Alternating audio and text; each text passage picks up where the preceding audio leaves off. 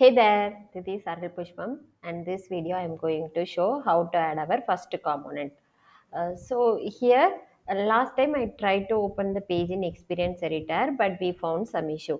The same step I tried today but it is working fine. So I think there was some issue with some configuration in last time. Um, so I will show this time. Just go to your home page and then Experience Editor. Time to load. Let's wait see we are getting this error. Unable to connect to the remote server. The reason is we are working on the connected mode. So we have to open our js code and then we have to run it then only it will work. So js wait until it's complete uh, the build and then compilation. Okay now my um, actually my uh, solution is loaded and here it's showing my local host let me copy and uh, check it but still it's showing unable to connect to the remote server. Let me close it and try to open it again.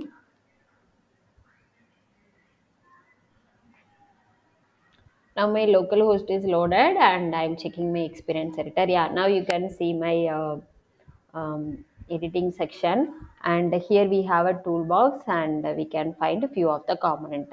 These components are already available here um, in the SRC in the component section, component splitter, container and content block.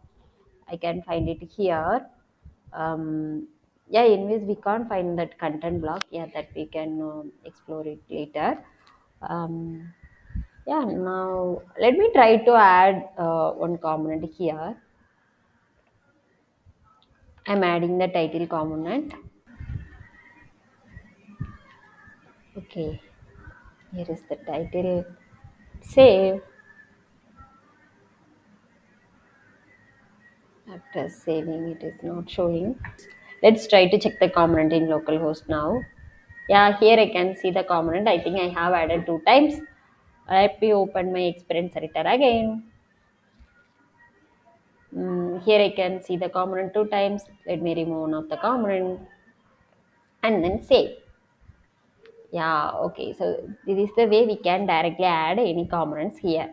Um, actually, after saving my page, it is not showing my experience editor. I think there is some bug. Uh, but as now we can ignore that and we can try to open it again.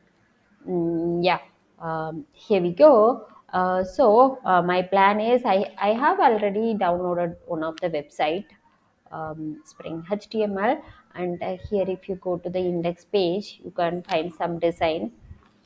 Here is the design. So this is the website i am going to build on this uh, series. Let's try to add this header section in the layout file. Uh, so before adding that anyways we need all the css and js right? Uh, so here we have a css and then js and in the next js app we can add the global css files under the pages. One new folder um, under the style under the pages and the folder name is style. Um, so here i'm going to add my css and js files. So i have created two folders css and js um, under the css folder i'm going to move all these cs files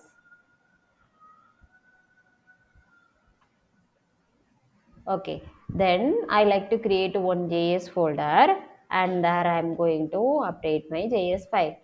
Uh, let's follow the naming convention. Js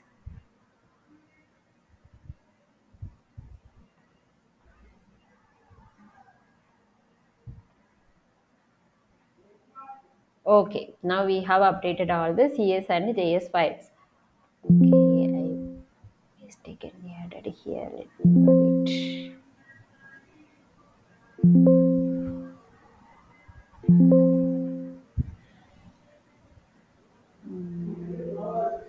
okay all good now.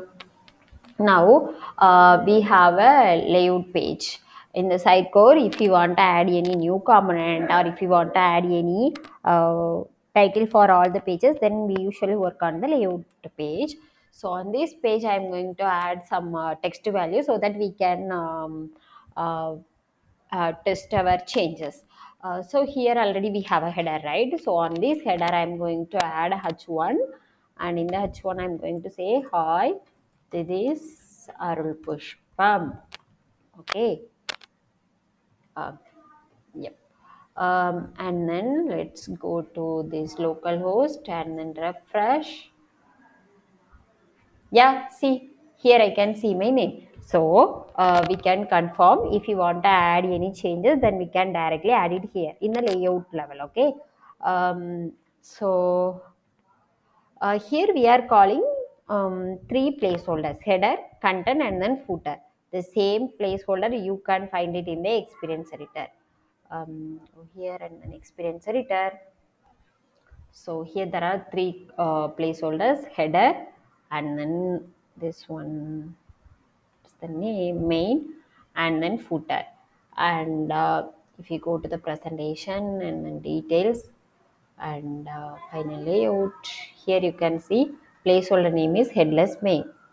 Actually here we used the headless main headless footer headless header so the same name is coming there.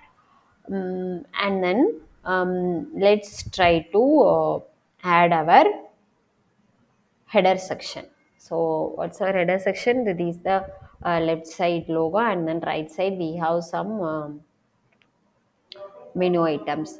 Uh, but I, I just like to add only this logo section. Um, I don't want to take any complex item now. Um, so go here and here is the section. Um, heading hero and I want only this section so um, next this the section one, uh, but I, I don't want the right section. I, I just want only the um, left section okay? Let me take this. I just want only this one. Copy. And uh, at the end we have to close these three. Fine in the header section I'm adding this and then this. Okay perfect. And um, what we need to use here? Class name okay. It's not a class. Um, in Next.js we have to use class name. Okay okay. And we haven't added this uh, images right? So where we can add that? Uh, as now it's directly referring from images folder so let's try to create one more folder here images and try to add it there. Images and copy all the images and paste it here. Okay. So images are ready now. HTML snippet and then I'm trying to um, compile my application. And then yeah see here we can find it but uh, it, it's not loading that images let's see what happened open a new tab okay it's trying to open the image in images logo.png but uh, I change the code like this? And uh, I'm getting error. Here yeah uh, some broken image.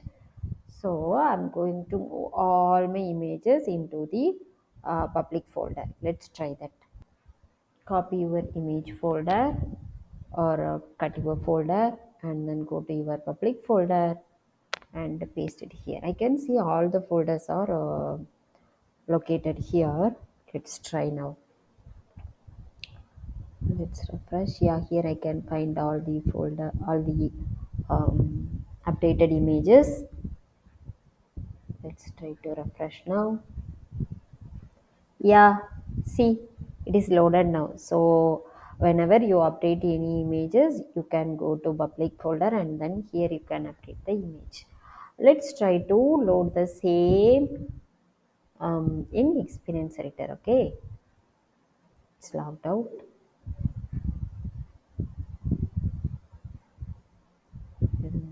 Home publish experience editor. My experience editor is loaded and here it is not loading the image. Anyways it's expected.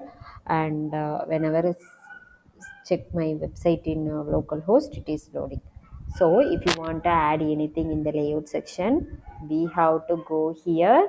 We can directly add our changes HTML elements. Um, so in the next video, I will show you how to convert this section into the component and how to create the rendering and how we can add the rendering in the page. Stay tuned. Thank you.